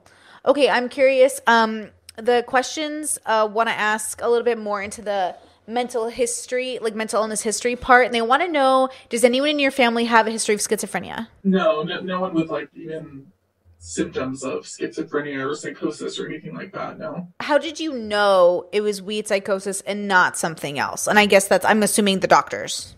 Yeah, that's it. It's just doctors plus my therapist. It's a four medical prof- uh, the fourth medical professional to tell me, like with confidence, not even just like it could be. No, they're like, this is very clearly to me cannabis-induced psychosis, and and they were like, you're not the only case we've seen. Um, a couple of them told me that there's there's been an increase, um, and they anecdotally think there's a link between uh, vape cartridge highs and psychotic symptoms specifically, and they think it's because of the vapes having that capacity for such high concentrations of THC yeah. can what people used to smoke. So yeah. Yeah. I know it's really difficult for 420 activists because they work so hard to destigmatize weed, and then I don't want this to be a part of that stigma stigma but i also want people to understand like the complexities of the world become or should be more nuanced and so we don't want to revert back to this like fear thing of like oh my god now we can't experience life because i'm afraid you know yeah and i don't want to live in that world where people are um uh, criminalizing marijuana use or even the sale of marijuana. Like I, like I said, I think there are a lot of benefits for people, and I think it could just be a fun thing for people to do. Like it doesn't yeah. even have to. It'd be like you're having a few drinks with your friends. Like yeah. have different those things, you know. There's risks to anything that you do, including riding a roller coaster. You know, there's like a risk with everything you do that's going to be like enjoyable or fun or good for you or whatever the case might be. So my goal is not to increase the fear. My goal, though, is to spread awareness that this could be um, a consequence of smoking weed, depending on your brain chemistry.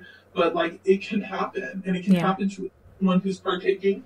So you have to be aware that some people are going to have, like, you can have a bad trip on weed, which is not a commonplace uh, piece of information that I think should be, because if I had known that marijuana could potentially cause a psychotic episode, um, then I would have not been in so much fear during the episode as well. Because again, there were times where I'd snap out of it and kind of be a little bit more sober minded, a little bit more myself. But in those moments, the second I thought about what had been happening, like the second I was like, oh my god, like all of these things have been happening to me. Why is this happening to me? It would put me back into the episode because Damn. I didn't know what it was. you know? Yeah, like, yeah, yeah if I had known, oh, you've been having a bad trip, and like, you're, oh, look, you're coming out of the trip, girl, like, that's a good thing, then um, I wouldn't have been freaking out so much. So I think more, I, I want people to be aware that this is something that could happen. Well, that's, you know, when I recently did my shroom trip before I came to Europe, I I had that same exact thought where I was tripping so freaking hard. I was like in a new dimension. I was with all these little Aztec gods and I remember telling myself, like, this is shrooms. You signed up for this. This is exactly, the drug is doing exactly what you signed up for. You're going to snap out of this in like four hours. And I was like, this is the longest four hours of my fucking life. But I just remember thinking, like, okay, it's going to end. And I just have to ride this wave, like, ride this anxiety. But I had that reassurance. And I had a trip sitter, to be fair. But I had that reassurance. Like, I knew it was coming. And so every time I would come back to sort of like reality, even though it was really distorted, I almost had in the back of my thought your psychotic episode where I was like, oh my gosh, is this what she felt like? Is this what she was experiencing, but she didn't know it was sh- like a trip? And I at least knew it was a trip. So I had a lot of reassurance power. I was comforting myself the whole time. So, like, you were going through that with no reassurance of why it was happening. Right. right. That would drive me insane. Like, I'm so, I think, impressed that you were able to like snap back so quickly. Like I said, you're like working, you're a functional part of society, people rely on you. And like if people saw you, they would never think like, oh, this person. Like, no, it's like you just like came out of it. Now everyone's gonna have that luxury. And I think that's why I feel so bad for anyone who goes through it without the right education, because it probably would have turned most people's lives around. You know what I mean? Yeah, it could I think it could help a lot of people to know that maybe that's what they're going through when it's happening. I think it could shorten the duration of the episode potentially, or minimize the symptoms. Um, so yeah, like that is a big goal of mine is that people are aware that this is the case, and then also um, in my case, just to bounce off what you were saying regarding me, me bouncing back.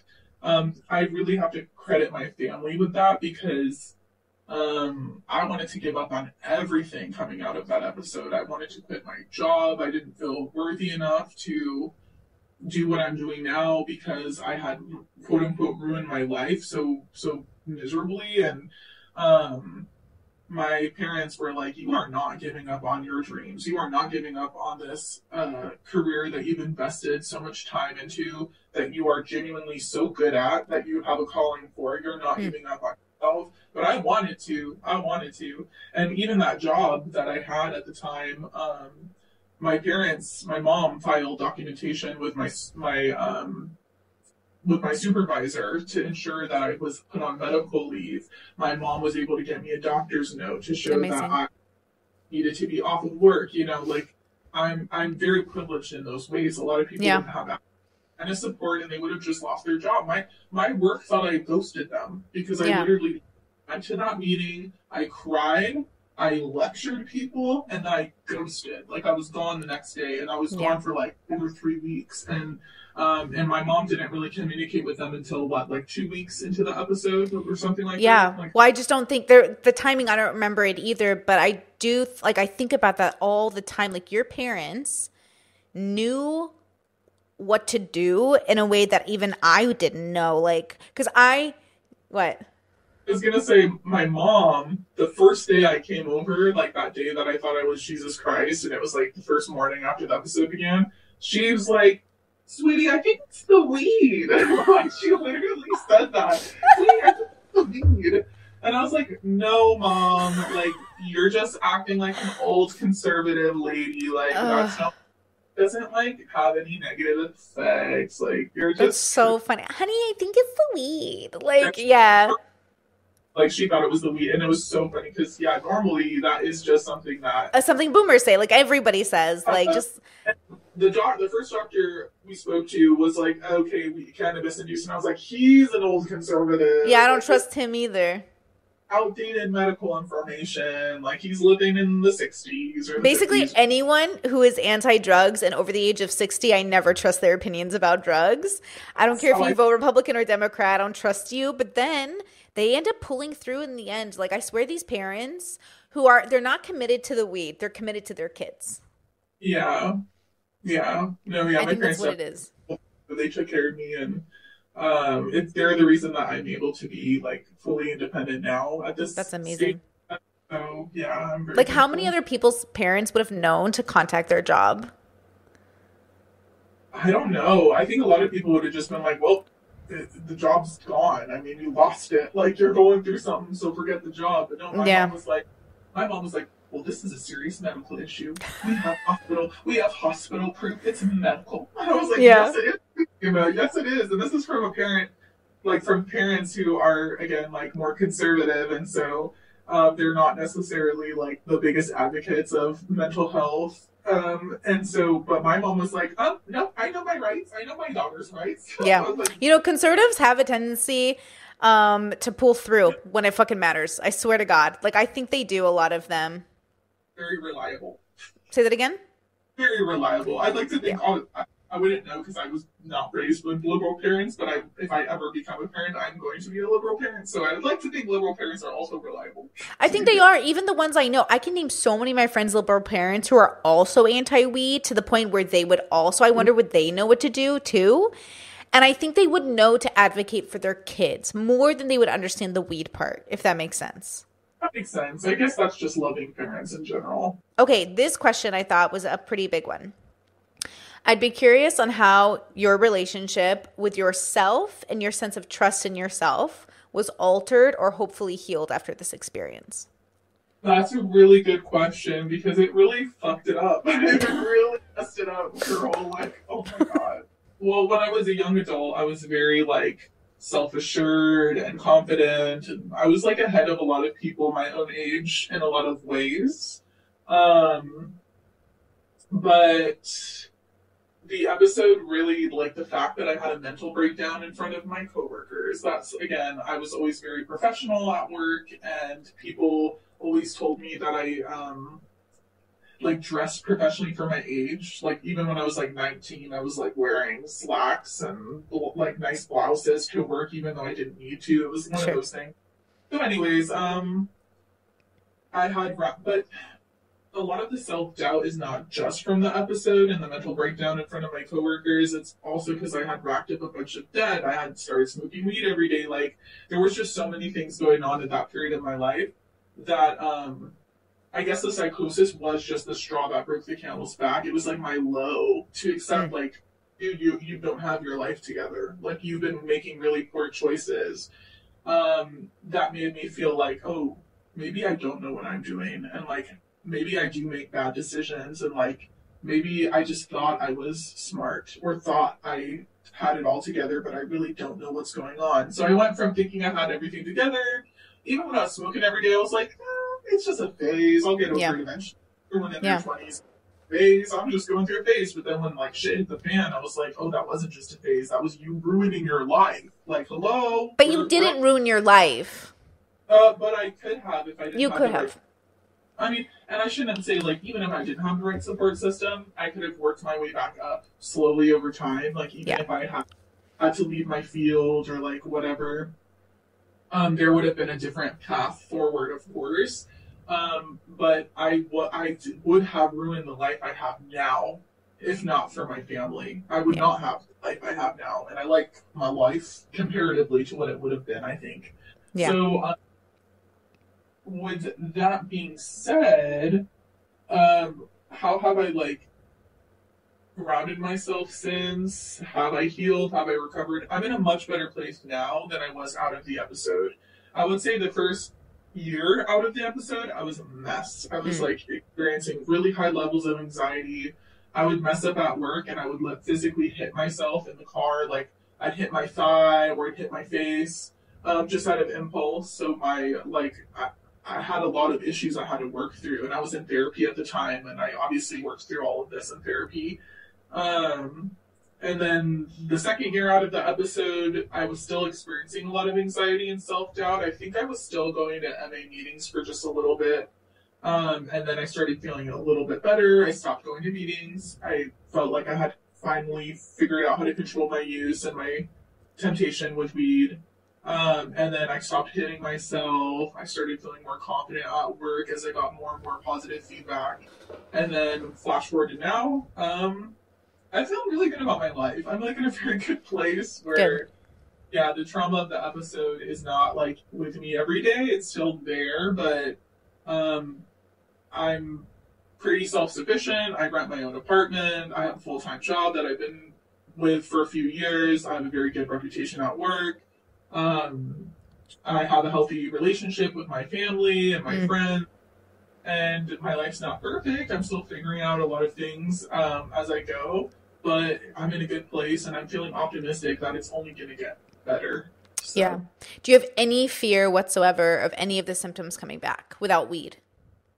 No, I actually don't. I do have a fear if I were to use again that it would throw me into a full blown episode, or if I were to use another mind altering substance, that it could do that potentially. Um, but no, like on a daily basis, I have no uh, fear at all that I'll just get thrown into psychosis or something. And Yeah. even if I'm experiencing like the first signs of delusional thinking, I think I'd be aware that it's coming back. Um, I can't guarantee that though, because the brain is very weird and it has, it's very efficient in tricking itself into believing Sure. things. I think the question that we can end on, uh, and if you want to say anything else, you can, is what is the biggest advice for supporting someone experiencing psychosis, which you went over before, but is there anything else that you would want to say, even like out of it or in it, anything else on your mind in that regard? Because I think this is really why we wanted to talk about this, right? Is to lend support for people and to Um, you know let people know they're being they're victims of their brain. I think the your goal should just to be to make them comfortable. Just remember that your goal is not to get them out of the episode. I mean that is your goal, but Right. like as to like in the moment, what actions do you want to take? Just ask yourself, how can we make this person feel comfortable and feel safe? Because that's going to be a requirement for them to come out of the episode if they're freaking out. Um, and so that's it. Just make them comfortable do not talk about them with other people in front of them. Even be careful if you walk out of the room and you're whispering, because oftentimes, like parents do this with their kids all the time. They don't think their kids can freaking hear them in the next room. They can hear you, okay? And in fact, you whispering makes their ears perk up even more. Yeah. And with someone who's kind of going through psychosis, if you're whispering about them in the next room, it's going to freak some of us out. I can speak Yeah. from experience. And um, don't laugh with other people as much as possible too. Like it might be innocent in your mind that you're like making a joke and trying to alleviate your own stress, but that can make that person feel like you're laughing at them. Mm. Um, and then uh, remove anything that's uh, unsafe. So remove like knives and anything, especially if they're threatening to hurt other people. Remove any kind of anything sharp. I remember Um, we um we hid the knife we hid everything sharp in a bunch of towels and we hid them in places so you wouldn't find them. Um yeah, the news story that came out, I was like, I never even picked up a knife. And then my brother was like, Yeah, that's because we hid them from you, bitch. we did. That's the first thing. Like we went around and like uh, psychotic proof the house, I guess, because like you had a tendency and like um you would just do things that just wouldn't make sense like you would almost like you were almost like so smart but so like in an episode like it was so strange like you would find ways to like disappear run around or like you would get naked and like run around and i'm like what are you doing yeah. oh yeah yeah yeah and like how did you feel like do you remember the fact that like we had to like help you shower or anything like that like do you even remember it yeah, uh, I don't remember shower. I don't even remember showering at all. I don't think. I remember being helped to go to the bathroom. I remember screaming at you like, I don't know what to do, and you were like, we'll figure it out. I'm not gonna lie, between like yeah, like there was a lot of just like what are boundaries? Like what are I feel so bad, I, and that's you know I'm laughing about it now, like largely because well, part of it is because it's like so ridiculous that it's hard not to. Yeah. But part of it is kind of cope because like obviously like my family saw parts of me that they should have never seen. They heard me say things that I should have never said. Sure. And it was traumatic for everyone and disturbing. I think that's the best word. Is it was disturbing. You know? It was like a weird horror film, but just genuinely, honestly, from the everyone's perspective, I think in some ways too, it was kind of cool to see people come together to support you and like be there and be like aware of like well, we're about to cross boundaries, or the fact that I just remember like your dad being very like loving and caring and like like very like, you know, put a blanket over you and like guide you back into the house or say that again? It was so sweet. Yeah, or like even the fact that I would try to like you it was it was a lot of like uh I would joke with you. I was like man we're like crossing a lot of boundaries right now. It's like we're we're coming really close right now. Like I would just sit there and I'm like yep this is what's happening right now. And like it was just like uh, honestly it was like a caretaker perspective. I think you become really neutral in those moments uh in terms of like the body or in terms of like helping someone go to the bathroom. Like it just becomes really neutral. You know what I mean? You're just trying to think like well this is a new experience you know yeah, I could only imagine. It's yeah, kind of weird. I've never been on that end of the situation, which is interesting. But I, yeah, I don't even know what that would feel like. I think I'd be very stressed if I saw one of my loved ones going through that. And like I said, the advice I'm giving is, uh, not to say that oh everyone should know this because I'm not going to pretend like I would handle it perfectly either. Like you, all you can do is your best. And if I hope that if this does happen to anybody, um, anyone's loved one that they give themselves a lot of grace in handling the situation and they don't blame themselves. If yeah. they're one they can't help. Like because it's not easy. Like i said my dad and my brother were the most effective in like calming me down. Um, but a lot of that has to do with their like their nature in general as people and my dynamic with them.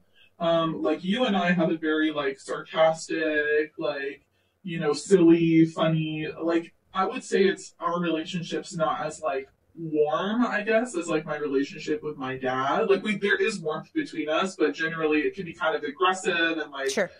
around with each other and like judgy, you know, like we could be a little petty with each other. Sure, sure, sure. And, well, like that kind of uh, energy, you know, as much as it's valued outside of like the episode, maybe in the episode is going to create feelings of like, are you judging me? I'm questioning what you're thinking. Like, for sure, you're like a very domineering person, right? Like I'm much more submissive than you are in general, and you're more aggressive than I am, and so that kind of dynamic felt threatening in the episode. And it's like, how are you supposed to control that? You know what I mean? Like you can't yeah. control, or you know, you are who you are. So, anyways, yeah, just give yourself grace if you can't figure it out, um, and just do your best.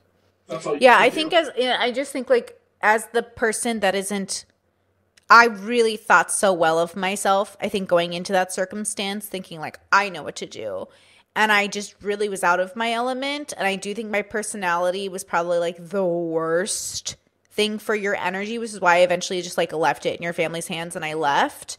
And even though I was like really worried, I realized I was making it worse, which is like really hard to swallow as like a fam- family or friend member. Like you're so lucky that your family what were the right energy for you and I just wish I could have been another part of that positive energy.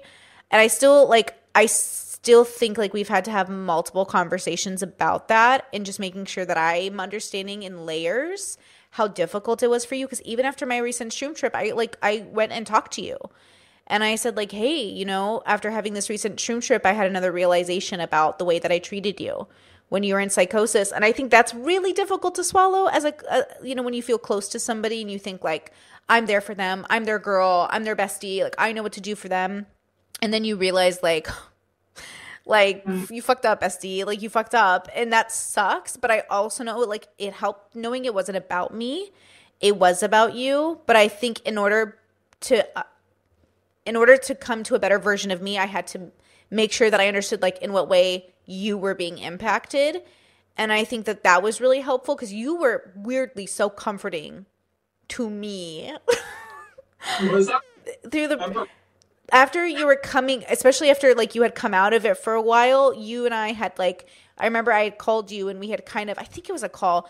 We had kind of like I think you had said like cuz I remember one time during the episode you like looked at me funny and you said something like um are you like a bad guy or like should I can I trust you? And I was like you can trust me, but the dilemma is that in my brain I wanted you to trust me in a way that I only know how to take control of something, which is to dominate it. Yes. And, and you needed, the, yeah. Threatening to me, where I was like, she's trying to control me. Right. She's trying to manipulate me. Like, she has, like, bad intention. Yeah. Right. Right. But meanwhile, you were just looking at it like you have a job to do and a job that needs to get done. Right. And I was like, like she's coming for me. You know what I mean? Like, yeah, it was like I couldn't. I felt like such a military yeah. I felt, you know, and then I. We're like Toph's daughter. Like I, I was literally. Korra, right? Yeah, yeah, I've seen yeah. Korra, yeah. Yeah, you're Toph's daughter, the like police commander. Yeah, yeah I was like was... very much like this, and that's why like your folks came in and they were just like zenning out. They were like yeah. peace and quiet in the home, and I was just like, everybody do this. Wait, wait, wait! You... Your audio cuts out. Say it again. I was gonna say the whole time my parents were looking at you as like, oh, you're the bestie and you're you're like liberal and you know stuff about mental health and we don't, so we're gonna like give you a little bit more of the, we're gonna let you lead the way here because my parents were like, I don't know what's going on and like you know, Brittany seems like she knows what's happening here. So, and then meanwhile, like, yeah, that ended up not being the, the right choice, but it makes sense why everyone thought that. Was, I mean, yeah. I called you before I called them. You know what I mean? Yeah. So I think I will say to give myself somewhat of a credit, I think it was good that I alerted everybody that something felt weird. Um, I maybe I think it was good to like alert, but not to have everyone come to the house because I that, remember. Yeah. Or like everyone came and I was like, whoa, and like it made it worse and worse and worse. Like the more people came and the more people were questioning what was going on with me, the yeah. way worse no, no, no. I meant like initially, like just letting people know, like, hey, she's driving, like, I'm coming over, like, something's going on. But you're right. It was my idea to have like the community come over and support you, which was the mistake because, like, you didn't need a community. I would say less people better. Yeah. And, um, calm environment, safe environment. Um, yeah. Yeah. Yeah. Yeah. Okay. So now, um, your life's back to a, a new normal and and you're working and um, you're on your own, which is amazing, and you're doing your whole life. Um, is there anything, I guess, more to say on this subject? Any, I mean, I mean, there's so much hope in that. I hope people hear that first and foremost. That there's so much hope about recovery, and there's so much to look forward to in terms of recovery, and everyone's going to have a different journey with that recovery. Um, I think, yeah, actually, I do want to talk about some of the delusions I was having, sure, and talk about how um, I guess just in case anyone's going through the same thing, because I was looking for this when I came out of the episode, like, did anyone else have these delusions, or am I just insane for like these things happening in my brain? Sure. Uh, but one of them was that uh, we were in like a simulation, and each of us had like monkeys behind computers controlling us, like we were their characters or we were their avatars or something. And that these monkeys were like investing into my character, but then they gave up on me, and my character started like just totally flailing and going downhill because the monkeys didn't want to invest in me yeah. anymore. Um, another one was like that I thought I had like a brain reader device in my head and that people were tracking. I remember that. Another one was that the the Catholic Church and the government were in cahoots and they were very perverted and they wanted like to see very disgusting things in my household. I mean, that might be true. That might be true. um so like I kept thinking I was being recorded for like the black market or something, which like the is that what it's called? The black market? yeah, on the hmm Um, I kept thinking like that's I was being recorded. I kept thinking I was being spied on by China. I kept thinking that uh, there was sex traffickers trying to steal me away. Um, I kept thinking that there was like a game that I had to like a puzzle that I had to solve by doing the right things, like by Mm. making sense or moving cups a certain way or moving things around the house a certain way would like get me out of this level and get me to the next one. Um, unfortunately, a lot of people, their um, the way they spoke to me became very perverted and gross. I remember the doctor that I was working with, who's also a family friend, he kept saying that he loved me, you know, like very like compassionately and professionally. Like this guy's again, he's like a family friend and that's like a normal thing for him to say. But the way my brain interpreted it was like he was hitting on me. Mm. Like he moved, which is not the case. So uh, it was just so many messed up things. Oh, and then Jesus Christ incarnate. Um, can't trust people in uniform. They're all like working against you. Um, that I had to kill myself or my family in order to save the world. Or I had to kill myself in order to save my family. All that kind of stuff. And these delusions were so intense and so scary. And I just remember coming out of the episode like thinking all of these delusions means that I'm messed up as a person. Like, why would my brain come up with this kind of stuff? That's crazy. And I also thought that they would stick around for like the rest of my life. That Yeah. part of me would believe these things. Oh, another really big one. Actually, I think the worst one coming out was that there was this delusion or belief that there was a higher power. And again, I, I've been atheist my whole life. But the episode convinced my brain that there was a higher power, but that the higher power was malicious. And- Mm. It was a total lie. It was like a lie that God is kind and benevolent. The reality is, is that there's this higher being that's all powerful and all knowing and has influence in our lives, but they're purely selfish and they're just sucking the energy out of us like the Matrix or something. You know, it's like that. Yeah. Like, that's the truth. And even out of the episode, I knew this was false, but my brain still, what's the word I'm looking for? It's still, um, Believed? Um, I guess. held like, on it- to? yeah, like my brain still, like at its, co- at my Was core, convinced? it was convinced, but I like rationally knew that it wasn't true. But Sure. it was, yeah, it, I just, but there was a belief in the back of my head that it was true. It was uh, not easy to explain, but I thought I was gonna always believe that, or like have a hard time shaking that belief that I was going to be stuck with this very negative worldview. But that's pretty much gone now, and I can't even tell exactly when. But I would say about maybe like two and a half, three years after the episode is when I can confidently say like all of those delusions are pretty. None of them are an issue anymore, Mm. and, and I'm, I can even say I feel more like myself pre-episode because yeah, it's just a new version of myself. It changes you. How does it not change you and transform? It changed. It changed me as a friend. Yeah, Mm-hmm. No, literally. No. oh, Okay. I feel like when you're talking about all the delusions, doesn't it sound like so many people you hear on the internet talk and tweet and like, the weird thing is, is like a lot of the conspiracies, like simulation love theory or whatever. Um, I had only heard the name of, but when I was under psychosis, it like pretty much just made up all this information based off of those like the- conspiracy theories, or like oh, oh, one of them. You know, I- again, I don't even know enough details to like summarize this uh, this conspiracy theory, and I don't even know that it's like completely false. But you know how like some Hollywood stars apparently will go to like the forest and they'll wear like white capes and they'll like have a bonfire or Sure. whatever. I don't know. There's like uh, maybe some people know what I'm talking about, but and again, this is just random stuff I just read in passing on the internet that I've never dived into. But like you'll hear stuff like that. All of those things came into play during my episode as realities. Like Yeah. where I was like, oh, like when people are like burning babies and making sacrifices, da da da. Even though I've never entertained this in real life, like that's what I believed. Oh, or um, the island, the island guy. Epstein? Epstein, yeah, Epstein's Island. That was I kept thinking I was going to get stolen and taken to the island or something, if I remember correctly. Mm-hmm. Um, oh yeah, it was just Yeah. messy. Oh, and one delusion I forgot to mention was um, like me thinking uh, people heard that I thought I was the savior of the planet, but I also thought that the, the CIA was gonna helicopter me away and make me the president of the United States. Like I kept thinking I was gonna be the president. Girl. I know, but that was another one. Yeah, yeah, yeah. That's I really my heart goes out to all these people I hear, and sometimes like that lady I met in New Mexico that one time who was like trying to. She definitely was trying to help me, and I was like, "Sis, you don't know what you're talking about, girl." Like she's like, "5G is gonna blow up your brain, girl." I've had 5G for a long time. My brain's doing fine.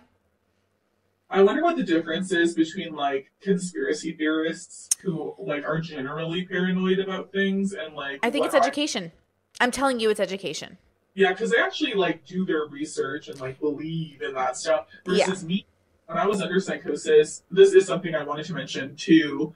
Is like you're not choosing to believe whatever's going on. It's almost just like your brain is flipping these switches and oh, you believe this now. This is your reality. This is truth, and you're gonna play by these rules in this Yeah. moment. And it's not consistent. Like I said, I toggled back and forth between a bunch of different like rules uh, sets of rules, and you just have no control whatsoever. Like it's just you know this is truth, and now you're reacting based off of that truth, and you cannot Yeah. shake that. Is what it is. I think that's the most like people kept asking me like in my original live stream like what's the difference from you know the conspiracy theorists to the par- to the to the psychosis and it's basically that like there's a difference between thinking you know the answer because like we hear we're in politics we understand what people say when they say things like don't take the shot and do this. Like they're not in psychosis they just have a badly educated like informed opinion versus like a real like a delusion which is why again my heart goes out i think the homeless population because again i really think if you didn't have family and friends and i think if you didn't have the resources you did in society there is a high probability that you would have been another homeless adult on the street just because like where would you have gone like who would have put you where who would have paid for what It's on like because I'd like I don't know it's hard. I'd like to think that if I was hospitalized, I would have gotten the care I needed eventually. I'd like to think I'd come out of the episode. I don't know if there's cases where like maybe it would have just been a one-time drug-induced psychosis, but then it turns into something more severe because it's not treated appropriately. I don't know. There's no guarantee, but it could have happened so that I would have been hospitalized and I would have come out and then I would have had to. I probably would have lost my job because I couldn't do the paperwork stuff by myself. Like I really, I couldn't. I was so ashamed that I had that meltdown in the meeting. I didn't even want to show my face again. So I probably would have lost my job, and I would have had to start at like a minimum wage job and probably like beg people to let me live on their couch, and it would have just been a really unstable life for me if I came out. Now, if I didn't come out because maybe because remember how I wasn't trusting people in uniform? Like, how would I have ever felt safe in a hospital? I don't know. Like, yeah Because I came out of it after sleeping in my own, well, not my own bed. It was a, a bed in my parents' house, but it was like in pretty much my own room. And I was with family who I had trusted in, initially when the episode started. But when the episode started initially, I was not trusting anyone in uniform. So Right. again, and I wasn't taking medication either. I forgot to mention that in this video too. That uh, I didn't trust pills, and so I would like put them under my tongue and wait for people to leave and then try to spit them out, kind of thing. Yeah, I found a lot of your pills on your pillows, and I'd be like, oh, "She didn't swallow it, bros." And then we had to come up with like interesting ways for you to swallow it, but then you didn't trust anyone. To, but to be fair, you thought you were honestly, in some ways, your brain was so protective. Like if you were really being kidnapped, it would have been really annoying. But like you, you know, you would you would have been really sneaky, but you weren't being kidnapped, and so it's even more annoying because I'm like, bro. But imagine like doctors in these facilities, like what would they have done with a patient like me? And I would have not trusted any of them. Like I Yeah. really don't know what it would have taken, and then they wouldn't have context into who I am as a person Right. either. So it's like they're probably just gonna look at me like some crazy lady, you know? people's prejudice and bias like totally make them treat people differently and i just think that that's why again we didn't want you to get locked up into a facility and we were like we'll give her home care COVID, COVID, during covid think- no visitors nothing That's insane, insane. Yeah. yeah yeah well here you are now very exciting i didn't think you would want to do this interview so i really do appreciate it because i think it will give people a new perspective i mean i'm just so glad that they're already reacting so positively to my initial video because I would have seen a story like that before and not thought much about it. And now I'm like, well, now that I have a friend who went through it, it's kind of one of those things I look out for. And I do consider it in, you know, in people now. And you can't control your beliefs and your behaviors in a lot of ways too. I I hurt my mom when I was in psychosis. I pushed her, mm-hmm. um, and I think I pushed her into the shower. In fact, but she didn't fall, but you did. You shoved her. No, I know she didn't fall, but I did push her hard, and I felt, but I felt bad immediately after. Like I remember yeah. being, like I couldn't commit to anything fully, but I still went even that far. So, and I again, I would have never chosen to do that if I wasn't delu- literally delusional. So, yeah, I think some some compassion and empathy or compassion and understanding is warranted with anyone who's experiencing psychosis. And I guess my biggest goal in doing this is just to spread awareness so that people know that it could happen to them and that there's things that they could do to like minimize the chances of it happening and that um, they'll be prepared if it does happen to them or like aware that they could just be having a bad trip and yes it could happen on marijuana. Yeah. Yeah. Well, thank you so much for being here. I really do appreciate it. And I look forward to reading the comments. I'm sure you will as well. I will. And, you know, of course, I hope people make corrections because I'm not a professional regarding any of this. So I'm sure I used wrong terminology or referred to things maybe not the most accurately. So if people want to chime in to spread further awareness, I think that's awesome. Yeah. Yeah. Thank you for being here. I really do appreciate it yeah, thanks for having me. And it's kind of cathartic to be able to like share my story in a lot of ways. So I, I really do appreciate it. I'm really glad. I really am. And um, who knows? Maybe we'll do another follow up or something if there's really good questions. But no pressure. I obviously don't want you to feel pressure to keep talking about it. But I, I'm just thinking back right now of like all the things we didn't talk about because it was there were so many things that happened. Like write a book. Um, you could felt, write a book. It felt like I lived eight eight different lives in that, yeah. those three and so, like, and each one had its own unique experience or delusion. I had nightmares and dreams also that stuck stuck with me for over a year. Like the the impact of the dreams kind of messes with you too. So there's definitely lots of different uh, things that we could dive into. But you're right; it would take a very long time. It would. So it would. Say that again. I guess we'll just start here. I guess we'll start here. Okay, well, I won't keep you any longer. Thank you for being here, and I will see you guys in the next podcast. Bye. Stuck in my head, in real life, I'm in bed. My belly's being fed, and I'm okay. I'm just fine, yet all I do is whine. Not to you in my mind, cause I know I don't make sense. I've been nothing but blessed. So why's my life a mess? Please tell me, cause I'm sick of thinking. Yeah, I'm sick of reaching out for the truth and living life as a fool. Dun, da, da, da, da, da, da, da, da.